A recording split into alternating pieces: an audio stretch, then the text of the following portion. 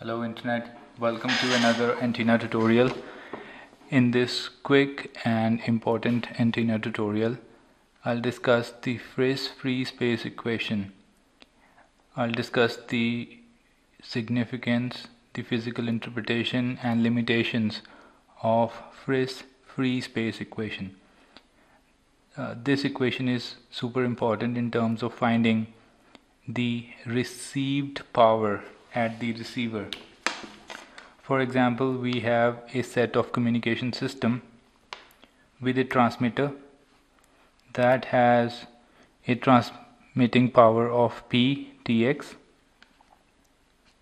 Then we have a receiver that has a receiving power of P Rx.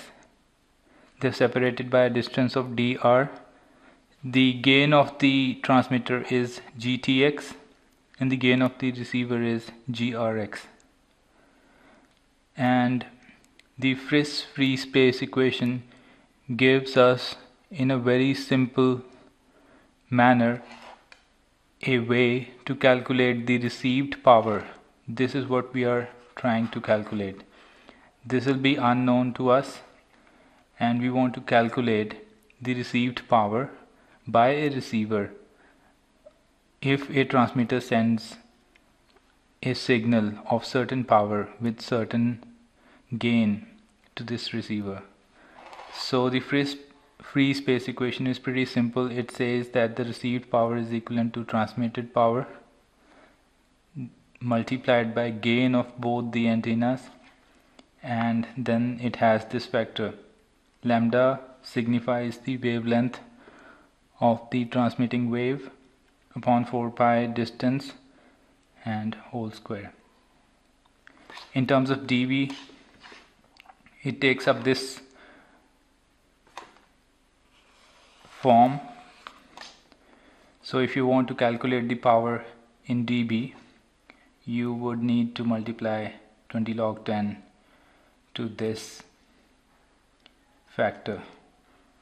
Now at times in numericals you may be given the aperture of aperture area of the antennas. So you this formula could prove handy. We know the relation of aperture with the gain of the antenna is lambda square upon 4 pi into gain. So if the effective aperture area of antennas is given you can calculate gain and vice versa. Now there are some notes, important notes about free space equations. The first note is that it is used to calculate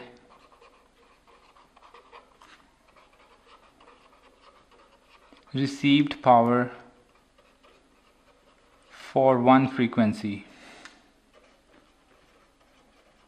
and this is the biggest limitation of this equation because in modern day communication system we hardly have any signal that has just one frequency component in transmission.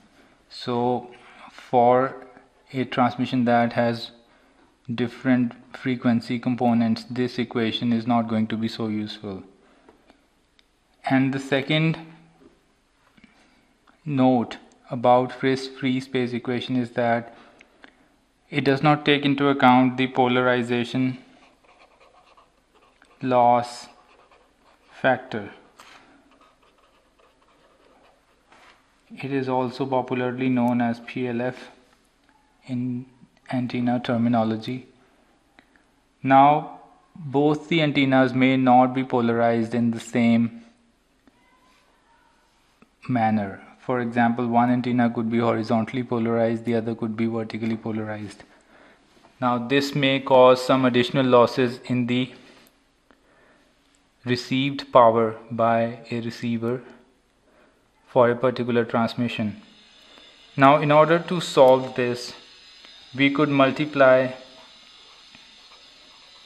the Friis free space equations right hand side with PLF and the rest of the equation remains the same.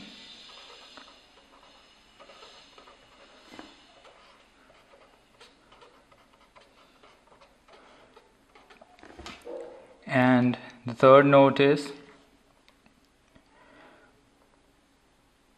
if you want to express this equation in terms of frequency of operation. You could simply use lambda is equal to c by f and substitute c by f in the free space equation.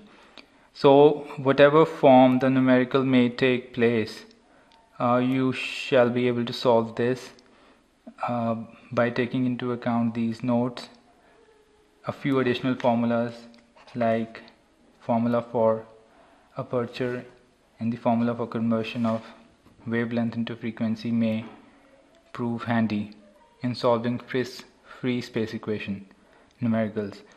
And very basic super important in the next tutorial I'm gonna recommend a website on which you can calculate Friis uh, free space equation parameters. For example you can calculate the power received at the receiver by using a simple calculator by inputting values there.